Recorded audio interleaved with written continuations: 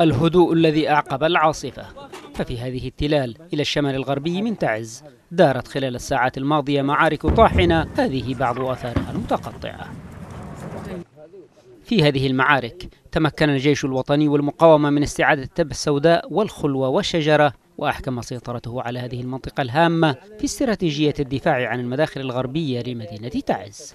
هذه الإنجازات العسكرية المتلاحقة للجيش الوطني والمقاومة تأتي إثر محاولات مستميتة بذلتها ميليشيا المخلوع صالح والحوثي لاستعادة المواقع التي فقدتها في هذه المنطقة. إنجاز من شأنه أن يخفف إلى حد كبير من تأثير التواجد الميليشياوي على حركة انتقال المواطنين في المداخل الغربية لمدينة تعز المواقع التي تم استعادتها اليوم هي تبة الكربة تبة السوداء والفضحة وتبة الذئاب. لا أقصد تبة الذئاب والتبة السوداء. آه الخلوة أيضا تم استعادة الخلوة.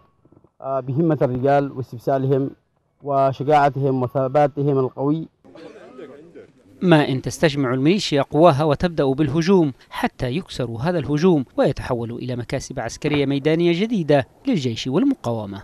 وفي سياق متصل بحصاد المعارك في شرق المدينة جال قائد اللواء 35 العميد عدنان الحمادي في الأحياء المحررة حديثا وخصوصا حي الجحملية المعقل الرئيس لميليشيا صالح والحوثي في مدينة تعز وحيث يتواجد أول مقر الحوثيين في المدينة. نزول مقر الميليشيات الإنقلابية مقر الحوث الأول الذي افتتح في تعز في هذا المكان سعداء أن نكون اليوم في الجحملية.